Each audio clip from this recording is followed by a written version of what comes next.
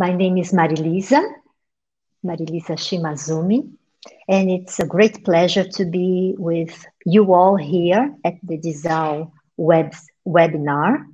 Um, today's event, today's lecture is going to be on assessment for learning, carrying out formative assessment in EFL contexts.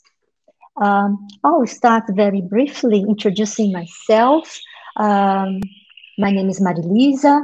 I am currently the coordinator for the undergrad uh, courses at Faculdade de Cultura Inglesa, both the licenciatura Letras and Bacharelado Tradução.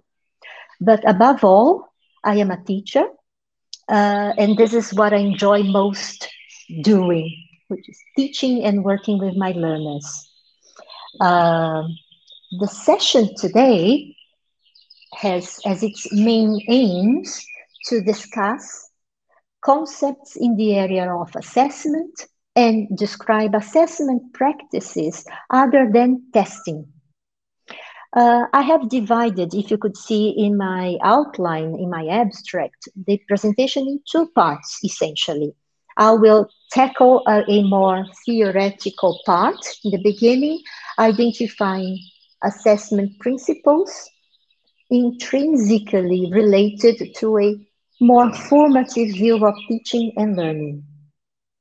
And then I plan to describe and discuss with you all uh, ways to implement some assessment tools and tasks that perhaps you could use to monitor and or check whether learning is taking place in your classrooms. I do hope you have time for questions at the very end.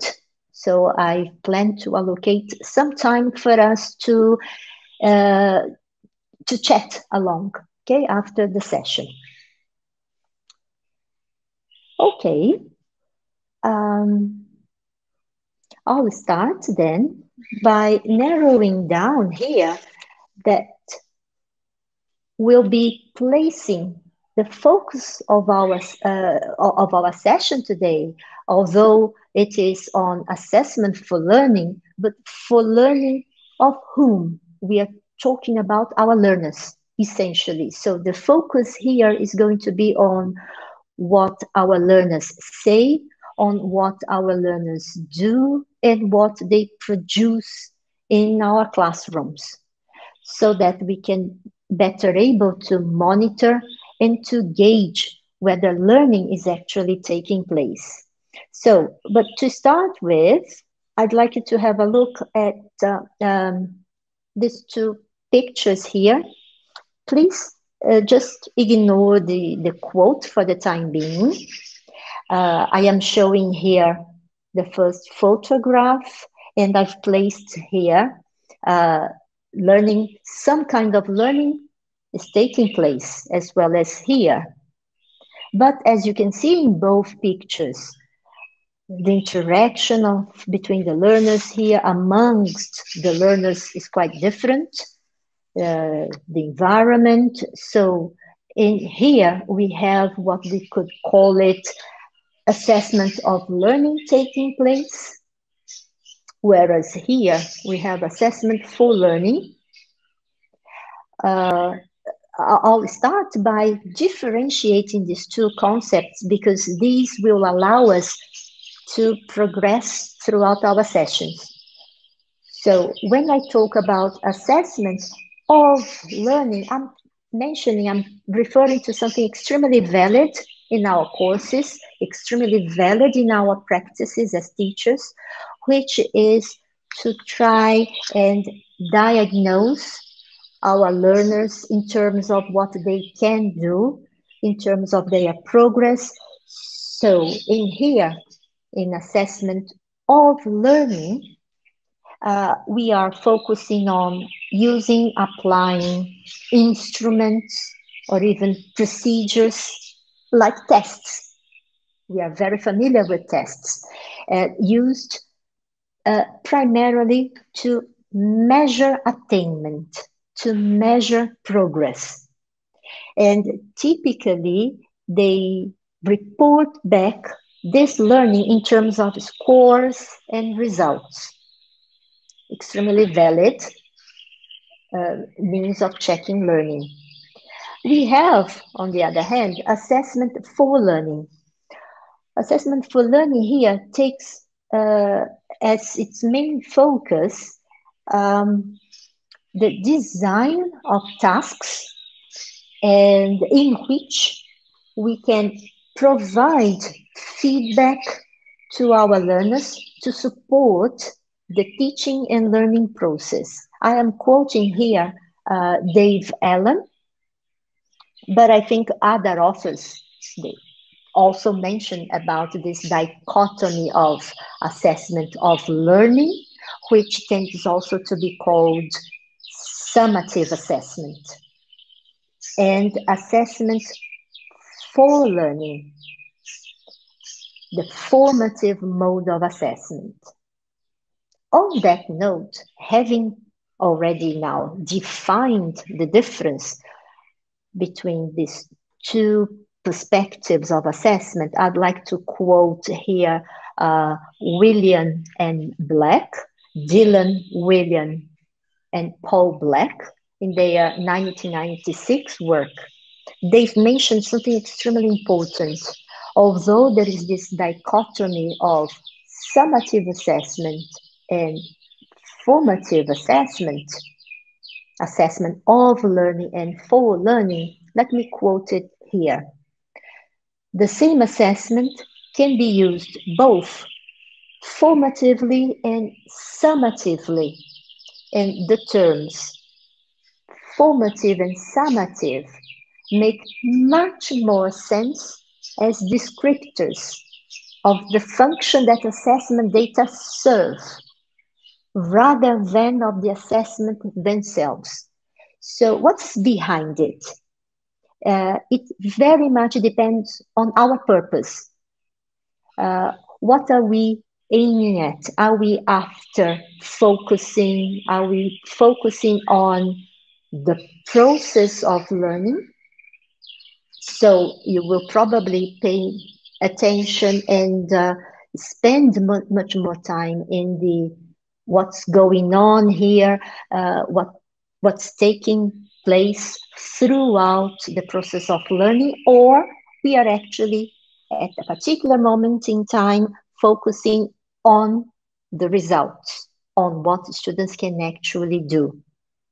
So are we focusing on a snapshot, a particular moment in time on what they can do, a summative assessment, or more on a ongoing, just like a movie instead of a snapshot, a movie, what they can do throughout a series of events.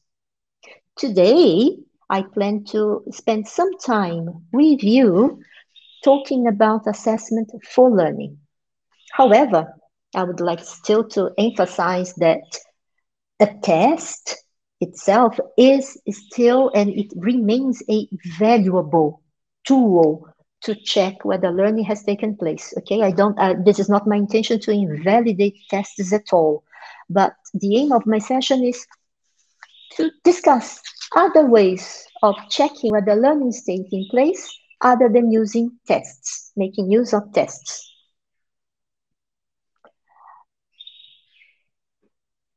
Um, some time ago, um, I've um, I had the pleasure and uh, the privilege of watching Professora Gladys Quevedo and Professor Gordon Stobart giving each of them giving their lectures. And uh, funnily enough and interesting in, enough, both lecturers mentioned uh, this particular um, this particular uh, aspect of learning. Uh, Professor Gladys said in her talk that we should be focusing on preparing our learners for the changing nature of the world of work. Whereas Professor and also Professor Go, uh, Stobart, Gordon Stobart said that we also should be preparing our learners for the deep learning versus surface learning. And by deep learning, Professor uh, Gordon Stobart was focusing on the ability to think for themselves.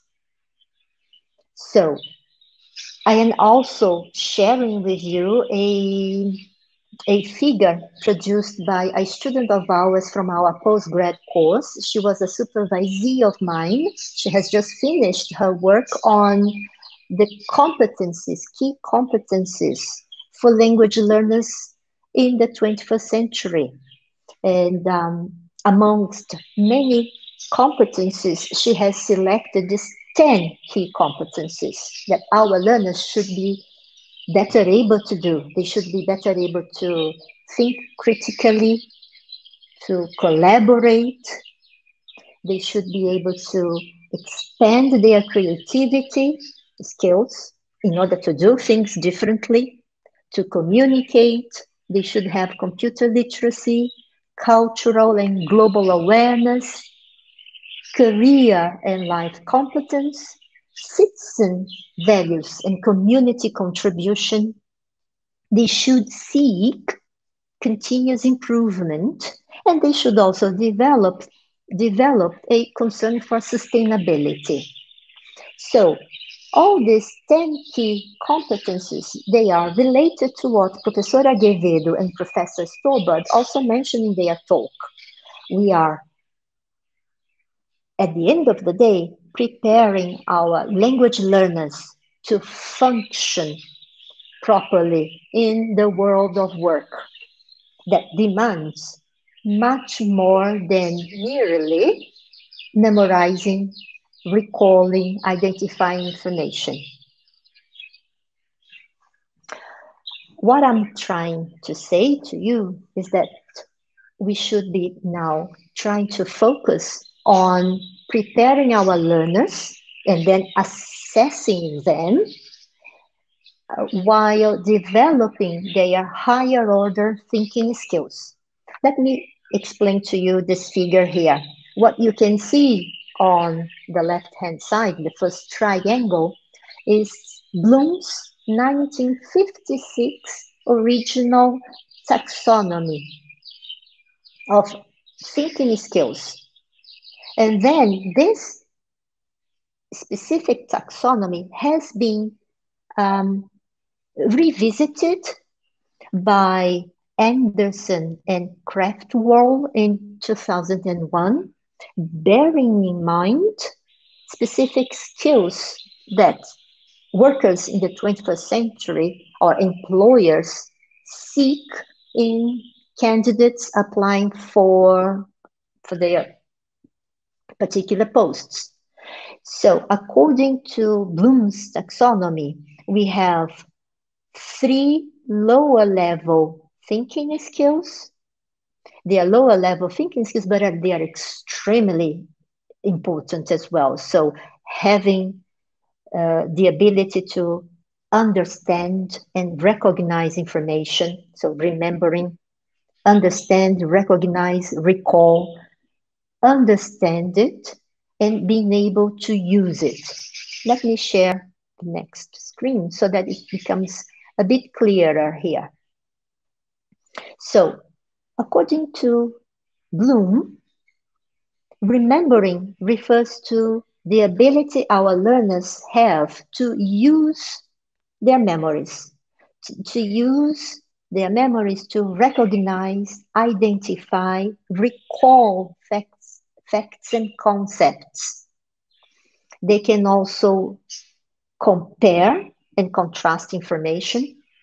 They can think, they can work together. They can share information. By understanding information, they can also interpret, classify, uh, apply. They can use learning, whatever it is that they are learning, in multiple and individualized ways. They can, for instance, do some brainstorming, execute a procedure to solve a problem. They are all extremely important skills However, the criticisms in the literature of assessment seems to be that we have been focusing too much at these particular levels here. They are called lower level thinking skills in our tests, in our tasks, in our teaching practices, and somehow um, leaving aside the top three higher level thinking skills, which, according to the literature, would better prepare our learners for the challenges in the workforce in the 21st century. So, for example, we should also be preparing our learners to make meaning by doing what? Analyzing, by breaking information into parts. So, helping our learners to dissect and analyze information through its parts, through its components, determining how the parts are related to each other and to the whole. Our learners should also be able to evaluate information, to evaluate data and concepts. So they should be able to combine, connect, judge, put ideas together, involve themselves into peer review, self evaluation, and they should obviously be able to create. This is the creative level, the creative skills level. It's not related to talent in itself, but it's related to a certain level of ability that allows our learners to generate something new by planning and producing by reorganizing existing elements to form a new structure. It is very much what we say thinking outside the box. So we get a pre-existing body of knowledge and we are our students are able to think and plan and produce something different out of this so going back to my major focus of this session. We are assessing for learning. But what kind of learning do we want our learners to be better able to do? We want our learners to be functioning here in the world of work of the 21st century. And these are the skills and major competencies we want our learners to be mastering so that they are able to do all those things. And mind you, if you are able to generate something new out of pre-existing knowledge, you are, it, it's also, it encapsulates all the other levels here. So um, these top higher order thinking skills are tremendously useful and competencies that we should be sharing and preparing our learners in in our practices. On that note, so if you look at this particular level here at the bottom, I'd like to share what normally tends to take place in the classrooms. Sometimes uh, we do that if we are focusing on form, but we have to watch out, which is um, the classroom discourse pattern that we employ in our rooms, which we run the risk of focusing at these levels here instead of making our learners think reflectively and think critically. So have a look at one of the examples this is the, the famous IRE uh, exchange model by Sinclair and Coulthard. Um, and uh, these two linguists, they have examined a, an immense body of uh, exchanges in the classroom, and they have noticed that the major pattern in the classroom is this. I stands for, yes, Malcolm Coulthard. That's it, Mauro. Uh, the teacher normally initiates the conversations, the interactions in the classroom. the student responds, and the teacher evaluates. That's the IRF, or F for feedback, or RI, IRE for evaluation. And it's always based on their research, it's always the teacher that initiates more often. However, let's have a look at the sort of questions, this questioning pattern that takes place in the classroom. What time is it? It's eight o'clock. Good. It is eight o'clock. Well done. Exactly. What does IRL, IRE, or F? Initiation, response, E for evaluation here, or F for feedback if we try and simulate more real life conversation. But what um, Coulthard and Sinclair found out was that predominantly in the classroom, we, I myself, I include myself in there when we are practicing and I am practicing language with my learners, IRE. Now, have a look at the problem here. The focus on the questions here are on information that we teachers, we already know. Actually, the questions are just excuses to check whether they know how to pronounce the words, whether they know how to give correct answers. So they are not genuine questions. And as Mauro has mentioned here, none absolutely uh, information exchange being taken place. So where does it take us? Going back to what I have shown you. Yeah, here, right? What we are doing is making students recognize, identify information, replicate, memorize, drill, use. That's great. That's good. But I do think that assessment, if we are aiming at assessing learning, assessment for learning, I think we should be a bit more ambitious and go a bit higher here at the pyramid. So in order to do that, as my second part of, of the session here is to share with you some ways to implement formative learning in the classroom. Uh, it's more process oriented. It doesn't take in, it doesn't happen in one session, in one class. It takes longer, but students get used to it and they become, they perform uh, uh more realistically. So I am going to share with you uh, five here, five suggestions that I extracted from Fisher and Frey. You will have the bibliography at the end of the session.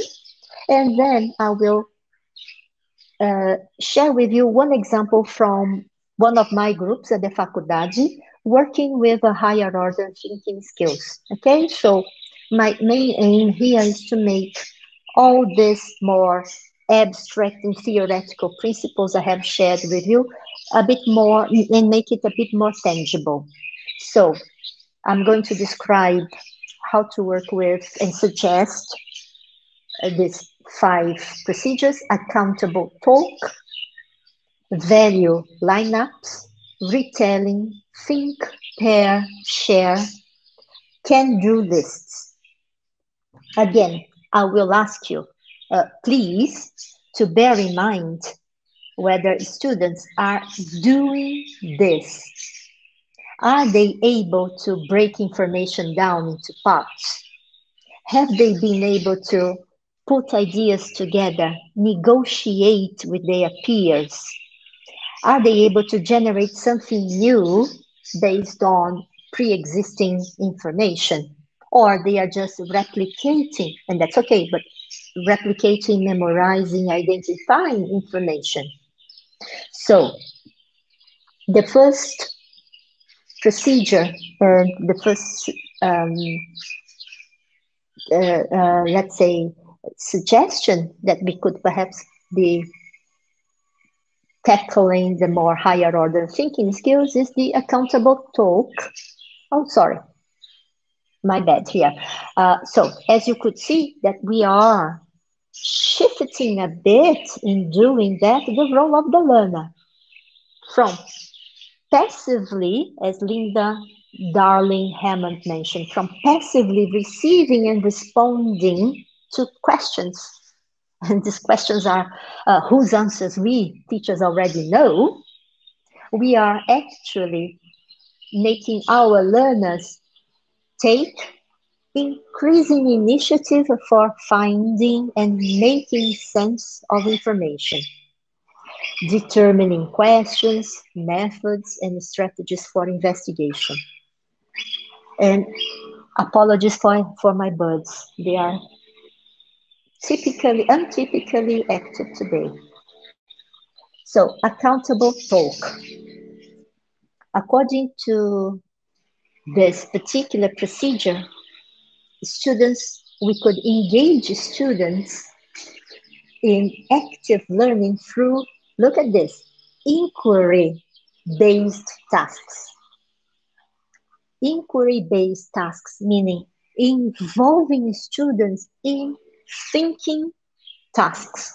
So uh, we could uh, uh, suggest and do it systematically in class by whenever they respond to us, press them for clarification and for explanation. These are simple questions that tap into, go deep into what our learners are actually thinking about, how they are thinking about. So you could, depending on what they answer, you could ask them, could you describe what you mean? Sorry, I didn't get it. Could you say that again? What, could you describe what you mean here? So he will naturally stop and rethink a bit more carefully what he said.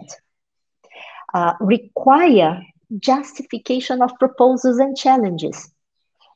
Hmm. So when you are checking, so again, we are assessing learning, right? After a reading comprehension question, ask them, so where did you find that information? Could you tell me? Could you show me? Are you sure? So recognize and challenge misconceptions. If the information is not correct, ask students one another do they agree do they disagree? But it's not only that why? Ask them to uh, recognize incongruences eh, misinformation and to correct them. Demand evidence for claims and arguments. Can you give an example? Simple like that. Simple. Um, interpret and use each other's statements. So you suggested that, by the way, number five, it seems very easy, but it's quite complex, which means it means that you have to understand what your student has said, paraphrase it, and ask them to agree or disagree and position themselves. Uh, interpret what, uh, what do I mean by interpret? Understand. Understand each other's statement. Or if you don't understand it, ask for clarification. Here we go again. Demand evidence. Or here, sorry, could you say that again? It's, it's really being as the name of the task, which means uh, we are working with questions questions and answers. We are not advocating for this IRE any longer, which is the more automatic, robotic sort of exchanges. We are actually interacting with our learners and asking them to be accountable for what they say, take ownership for what they say. What they say matters in the classroom, but they, they should be prepared to explain their positioning. So a very simple task, which might help us assess their learning is via questions. And questions based on inquiry, on reflection, on thinking, on understanding their discourse. Procedure number two, value lineups. This is a bit for the, the groups which are more uh, oriented towards physical uh, movements. Um, so we have here providing learners with opportunities for fostering peer discourse. So what we could do, okay, which would also trigger some more uh, uh, uh, thinking skills, reflective skills here from the part of the learners. Students are asked to evaluate a statement and instructed to line up according to their agree of uh, uh, to their degree of agreement or disagreement with the statement. Line up, I mean standing up and positioning themselves in the specific uh, side of the classroom that is that that it, is um, related to their thinking, to their opinions. So after forming a single line, the queue is then folded in half so that the students who mostly agree and mostly disagree with one another are placed face to face. Students then discuss their reasons for their positions and they have to listen to the perspectives of their partners. This cultivates a broader understanding of differences in the classroom, of the distinctions of understanding on a topic. It, it also fosters diversity of opinions, differences, and tolerance. Okay, we have differences in, in, in, in opinions. Let's hear your point of view. So uh, the teacher here can listen in as pairs put forward their opinions and can note the ways in which they share their responses and take notes of feedback. So here, in, they have to listen and debate and check the reasons. Let me go back to here. So they are judging look at here analyzing and evaluating. They are judging they are putting ideas together they are involving into peer review they are talking they have to negotiate meanings um, and they have to make sure the information is correctly understood. Uh, Thais, could we say metacognition, metacognition is essential feature of formative assessment to a reasonable extent. Well, I, am not going to fully uh, associate it with metacognitive skills, but it's definitely um, reasoning skills to a reasonable extent, but being able to position yourself into a thinking being, someone with opinion, and being able to justify. And for that, using the language, using English to do things. So uh, th th this has to do with our view of language. Language for us shouldn't be a set of rules to be memorized. Rather, language should be used to allow us to do things in the world and one of the things is to be accountable for what we say. So this is important and not just follow the IRE, respond to a question to which I know my teacher already knows the answer. Yes, language is a tool. Absolutely. It's a tool for you to become an autonomous citizen while you're using the language. Okay, value lineups uh, okay. retelling. We could invite, we could invite students to retell what they have just heard or read. And when we do that, we are using a powerful tool for checking their understanding. Okay, uh, it's it's uh, it's it's really good. Ask them to repeat what they have said. Ask them to repeat what they have just heard, and you will be astonished to know to, to notice that perhaps they have had some misunderstandings.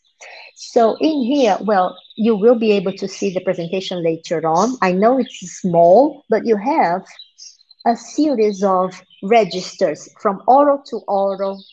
I'll, I'll do one example with you. So how can we ask our learners to retell information? Students have to process information and then this is very hard, very complex. They have to summarize what they have understood. So, oral to oral.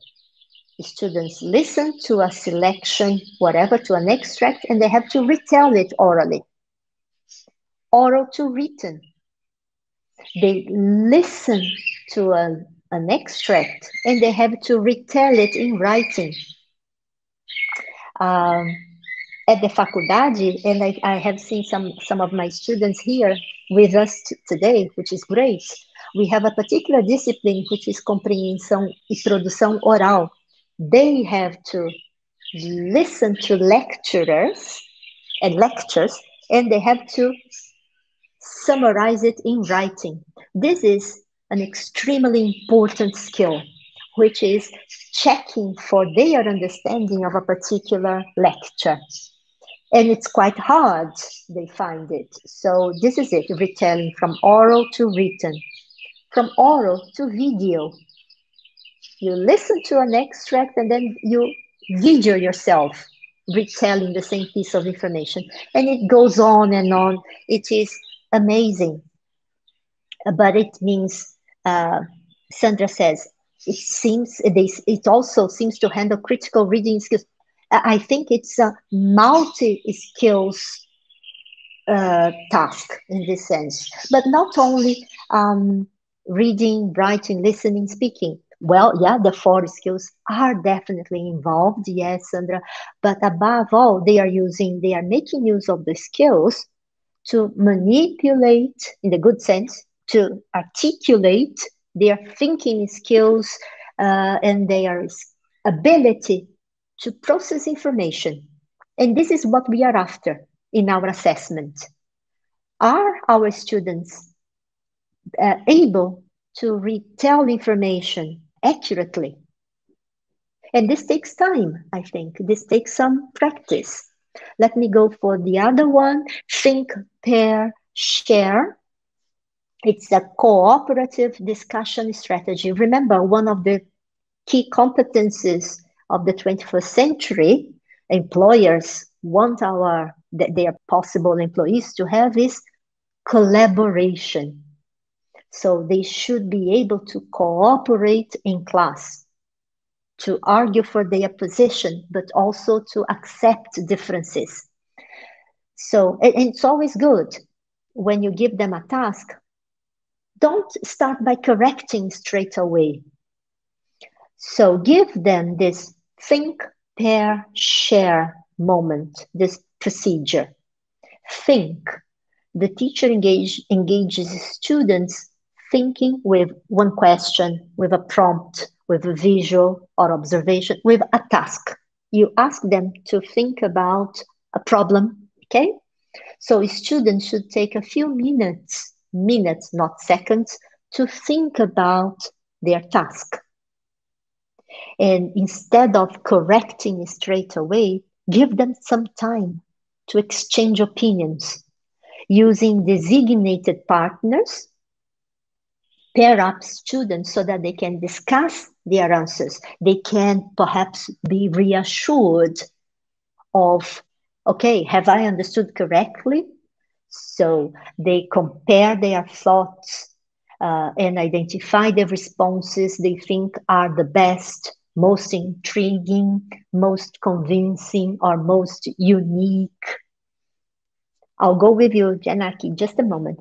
Uh, and then, after thinking for themselves and having had the opportunity to share with a colleague and get some more reassurance, now it's time to share. I think they are better prepared than to talk in pairs for a few moments and then share their thinking with the rest of the class. They will feel much more confident, less vulnerable, more reassured. Uh, and here, naturally, there are opportunities to check for understanding throughout the whole think, parent, share. We can go and move around, or well, we can visit them in the different breakout rooms, depending whether we are teaching online or Jamboards. The teacher can listen in as pairs, discuss their responses, note the ways in which they are sharing their responses, and then be prepared to give them feedback. By the way, everyone, feedback, I'm always thinking about feedback as feed forward. How can I, my feedback, my comments, better prepared to cater for future productions, what they can do better. Okay, so Yanaki, Janaki, uh, is it possible to use the retell and think pair share assessments with any level of student? I would say so. Obviously, yes, I would uh, be careful and make the necessary adaptations. And uh, the, the, the triangle there, the pyramid, Bloom's pyramid, everyone, I think it's applicable to all levels and, and uh, age groups. Uh, but obviously, we have to make sure we adapt it, okay, to their uh, appropriate uh, level. Um, and the last one, the fifth uh, suggestion I would like to give you in order to make it more tangible, some tasks that could favor your assessment in class. Um, in, uh, using, implementing, making use of response cards, hand signals. And this should be processual, I mean, should be done consistently. And then they get the hang of it, they get the use of it. It's a can do check. I am sure most of you now already make use of it. So you can use post-it cards or hand signals, uh, yellow uh, or red and green, okay, to show uh, thumbs up.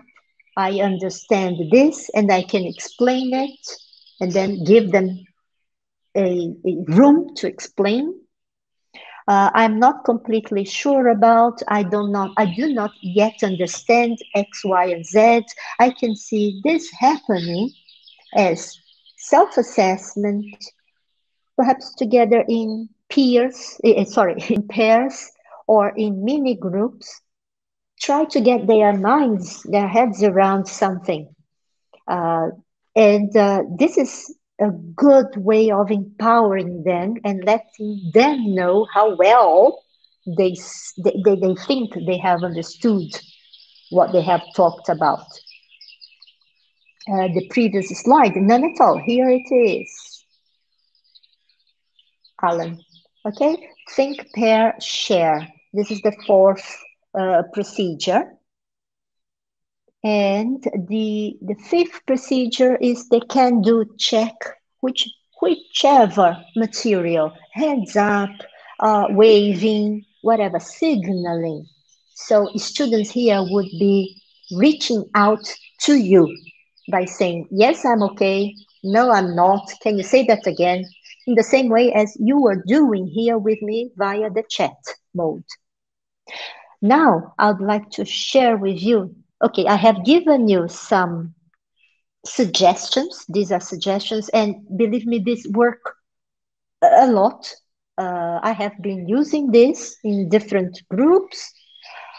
I am going to share with you my um, use, my uh, conscious use of Bloom's taxonomy, more specifically the higher level uh, order skills. I, I call it HOTS, H-O-T-S, higher order thinking skills, the HOTS skills with my students at the faculdade level.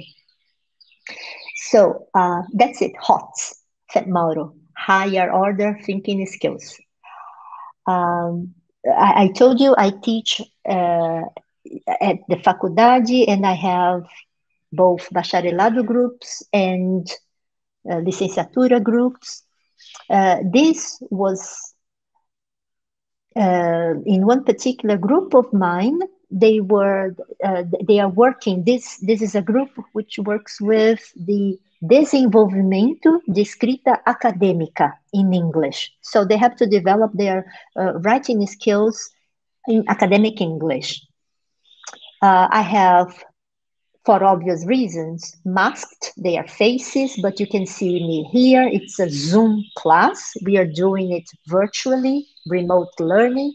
And um, what they have to do was, at the end of the day, my aim was, are they able to understand diverse points of view and single out information where people agree with each other, information where people, well, uh, are they able to identify, look, identify the bottom of the pyramid, advantages, disadvantages, and which authors, okay, here we have the names of authors. It's academic writing, so I gave them a list of some books and articles, and in blue is just a short summary of each article, each summary, uh, each, each book related to the use of genre analysis in writing. So the question, my task was primarily identify and go to Jamboard in groups, so working collaboratively, accepting divergence information. So put the names of the authors who see genre analysis as having only advantages and which authors see genre analysis as disadvantages. And give me the authors here. You have to read, understand, recognize the authors that are in the middle of the road. They see both advantages and disadvantages.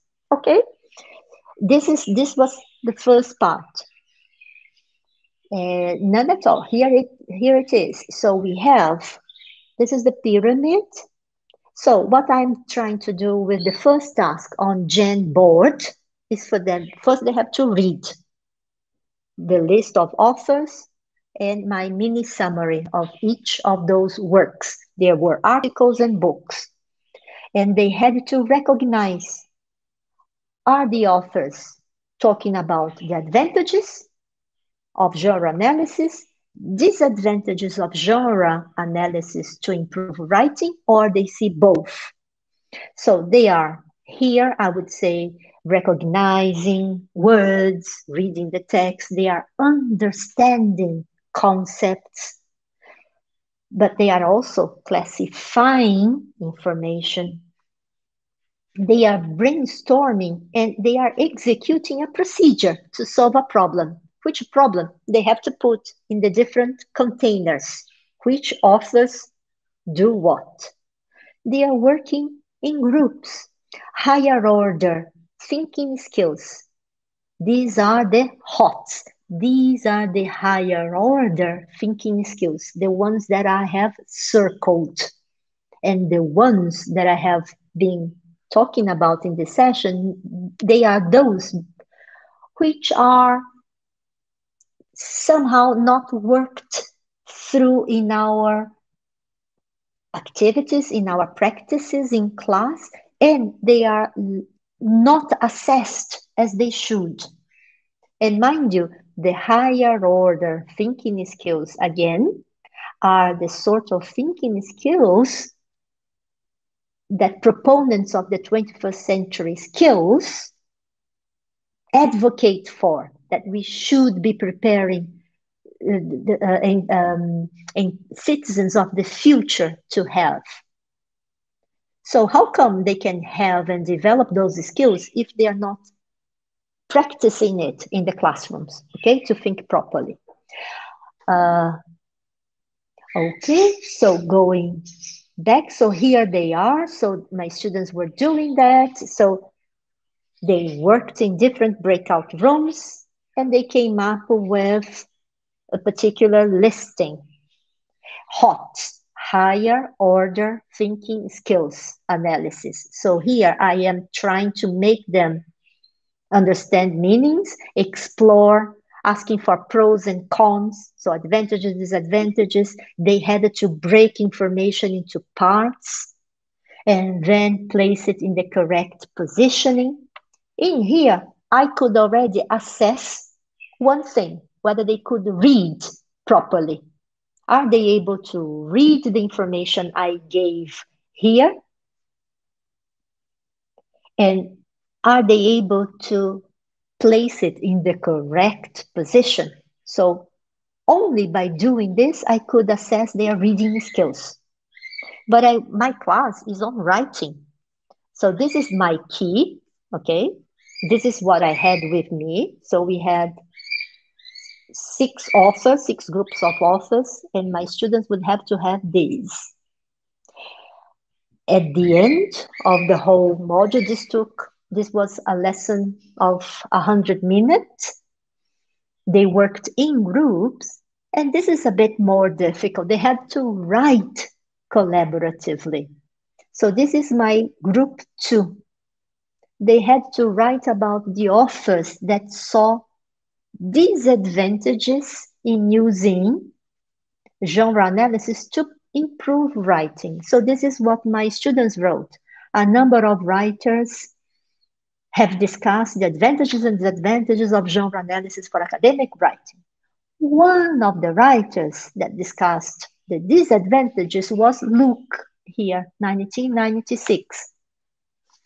And they were also uh, practicing making integral references in texts, so th they used correctly, who claimed that genre approach leads to formulaic writing. In addition to Luke's argument here, Haiyan 2001 warned that students can overgeneralize genre rules.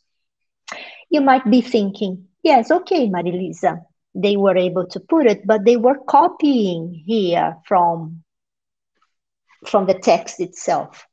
That's okay. I mean, uh, they didn't have too much time to articulate it, but for 100 minute class and it's academic writing, I was pretty much, I was very happy in getting them to read a text, being able to abstract it, uh, break it into different parts, categorize it in the correct positioning according to the authors, and come up with a summary. Uh, and working in groups, so collaborating, agreeing, disagreeing, and write a very sensible and um, coherent piece of writing.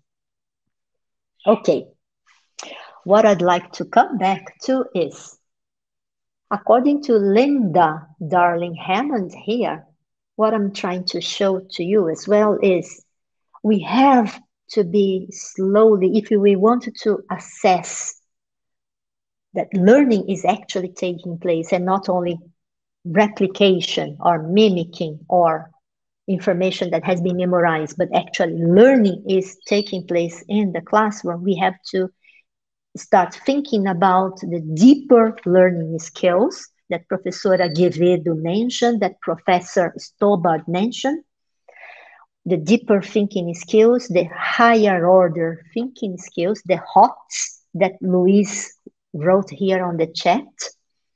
And these deeper learning thinking skills, they are intricately, intrinsically related to the 21st century skills that employers are searching for. They, they, they want future employees to have those uh, abilities. So they want learners, well, in case the employers, they want candidates that are able to find information, evaluate, synthesize information and use knowledge uh, in new contexts. They should be able to frame and solve non-routine problems, produce findings and solutions.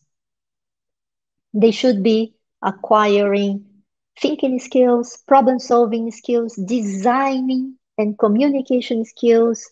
They should be able to present their views and defend their positions. They should be able to revisit their piece of writing based on feedback that we gave. And they should develop and demonstrate a range of skills here. And here, metacognitive skills. I think we have a colleague of ours here. Sorry, I'm coming back. Yes, uh, metacognitive skills. Somebody mentioned, sorry, I cannot go back. Uh, Thais, Thais, you said, could we say metacognitive skills is an essential feature of formative? It is one of, and it's here. Above all, we have here learning to learn skills and also some resilience, some tolerance, and collaboration. Uh, I'm going to, we are almost finalizing. I'm going to end with someone I admire, uh, President Obama back in 2009, quoted in Darling Hammond. And look here, he was already envision, envisioning already predicting the level of education back there in the US that it lacked focus on higher order thinking skills teaching. Look at here. I'm calling on our nation's governors and state education chiefs to develop standards and assessments that don't simply measure whether students can fill in a bubble on a test. You see multiple choice, a tick, circle the correct answer. Not only that, but whether they possess 21st century skills like problem solving, critical thinking, entrepreneurship, like creating new things, and creativity. So, on, on that note, everyone, um, I would like to open for question and answers, but I think I, I have been uh, answering your questions throughout, uh, but I'm going to check. Uh, I am leaving here my references. And if you allow me, I would like just a moment to inform you that next semester, the second semester of 2021, uh, we at the Faculdade de Cultura Inglesa will be offering a curso de extensão. Uh, it's, it's going to be uh, online due to obvious reasons. So it's great for people outside Sao Paulo. It's called Visible Learning and Assessment. You can scan here the, the, the QR code and get into the site or just check our site here at the Faculdade for more information. If, if, okay, you happen to be more, uh, if you happen to be interested in more about assessment and visible learning. What is the best? Let me just now check the questions here. Make, will make me here. Mm -hmm. What's the best reference on practical assessment activities? Um, I, I would say I haven't been, I have to be honest, okay, uh, Katya, I haven't been reading books that suggest practical ideas. Uh, I have been away a bit from from this uh, perhaps uh, literature, uh, but uh, the authors I have mentioned here, I mean Fisher, 2007, checking for understanding. They give look at here formative assessment techniques Katya, I would say. Uh, Fisher and Frey were the authors I quoted for the think, uh, pair, and share the, the, the signals, okay?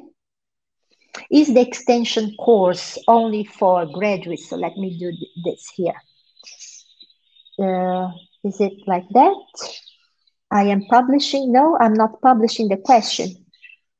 Yes, I am publishing the questions. Model, hang on a minute.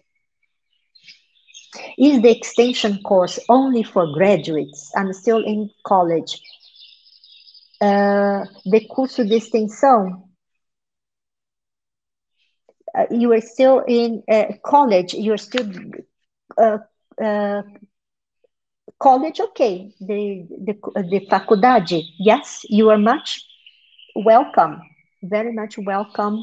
If you're doing faculdade, curso de extensão.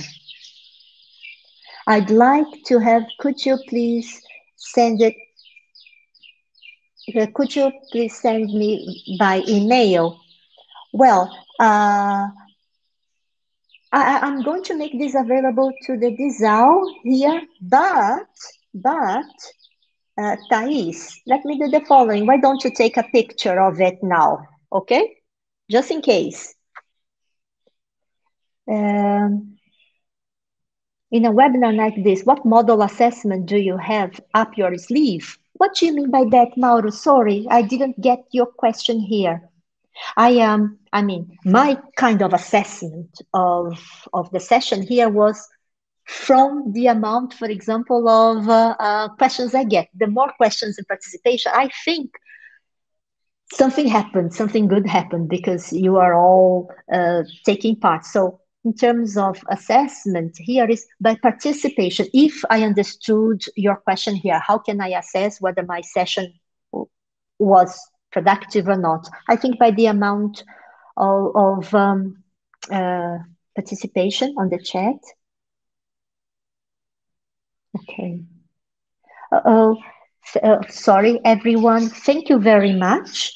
I um, I'd like to, on behalf of Faculdade, I'd like to thank you all for taking part in this afternoon. It was really a pleasure. Uh, to talk about something very dear to me, which is assessment. Thank you very much. Hope to see you soon.